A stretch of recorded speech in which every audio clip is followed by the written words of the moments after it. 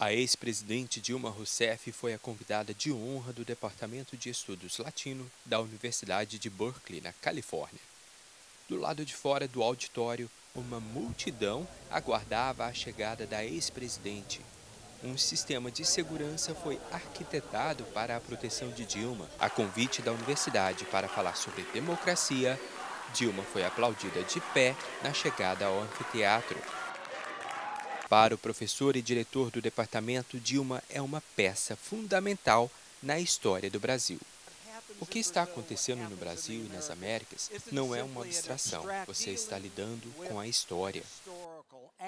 O que era para ser uma noite de debate democrático acabou sendo um discurso em defesa à prisão do ex-presidente Luiz Inácio Lula da Silva. A presidente Dilma foi aplaudida de pé por apoiadores que se vestiram de vermelho em protesto à prisão de Lula estão tentando tirar do Lula o direito de visita. Ele tem direito a uma visita semanal. Entre os assuntos abordados pela ex-presidente, ela comparou o atual cenário na política brasileira com a época da ditadura. O golpe de hoje é dito como não golpe, porque ele não tem as mesmas características.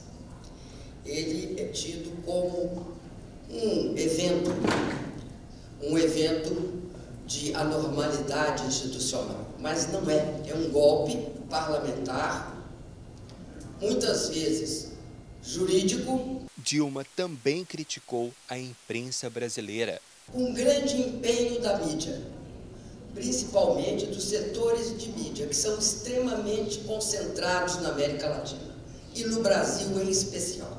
Quatro famílias controlam oligopolisticamente os principais meios de comunicação no Brasil. Pela imprensa brasileira, que não é nem um pouco santa. A ex-presidente não mencionou se será candidata a senadora por Minas Gerais. Hoje, Dilma segue para uma outra palestra na Universidade de Stanford.